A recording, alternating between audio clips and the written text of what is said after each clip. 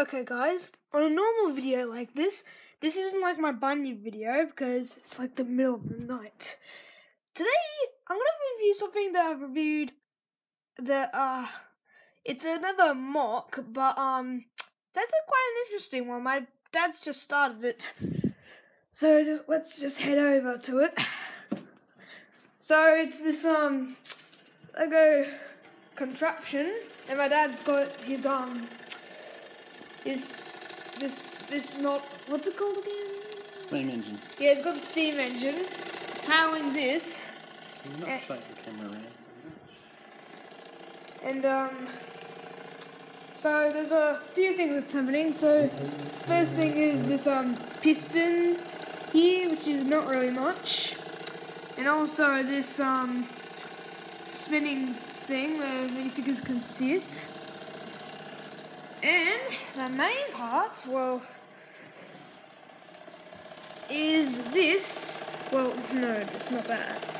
It's the conveyor belt, which, yeah, getting its one. And uh, so this part of the conveyor belt is um a bit slow, but I guess that's how the mechanism works. And uh, um, we tested it with um, this one, but his head got stuck.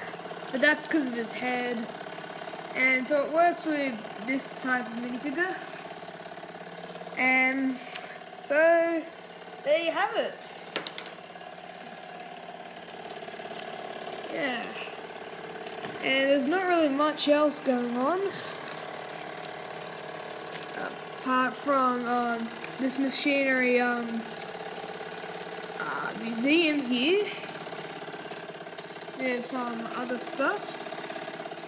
And yeah, there you have it. I, there is the fire. So yeah, if you're new to the channel, just please subscribe and thanks for watching.